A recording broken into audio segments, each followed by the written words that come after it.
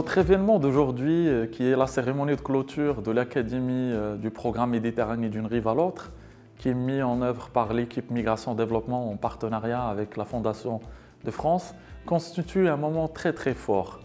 C'est un moment de partage et de valorisation de tout ce qu'on a pu partager durant ces huit mois d'accompagnement et de formation au profit des associations rurales qui ont pu bénéficier de ce programme durant l'année 2023. Cet important événement a connu aussi l'organisation d'un débat d'actualité qui est la jeunesse rurale et sa relation avec le développement local.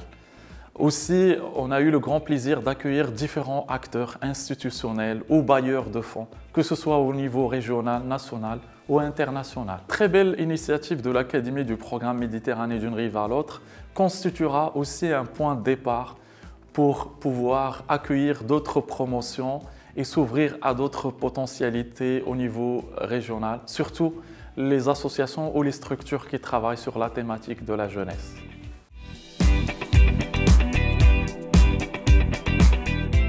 استضفتنا الميغراسيون اي ديفلوبمون كممثله للمجلس الجهوي واللي كان في خلال هذا النقاش المهم سمحت لنا الفرصة بأننا نشرحوا للحضور المجهودات اللي كتقوم بها اللي كيقوم بها المجلس الجهوي من أجل الشباب بصفة عامة وخاصة الشباب في في المجال القروي.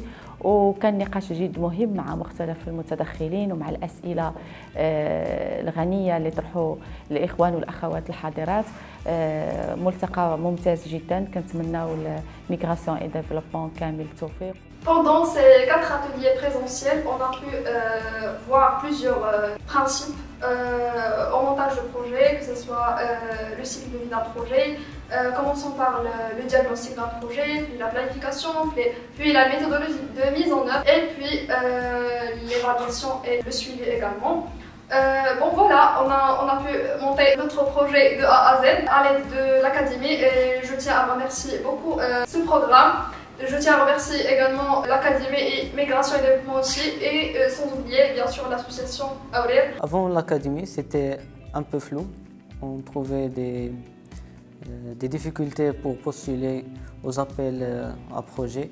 Mais maintenant, grâce aux outils qu'on a appris dans les quatre ateliers, diagnostic, planification, exécution, évaluation, j'ai maintenant les yeux ouverts et très motivé pour euh, appliquer tout ce qu'on a appris au terrain et partager avec les associations adhérentes euh, à l'Union et toutes les associations de la zone montagneuse de Shuka et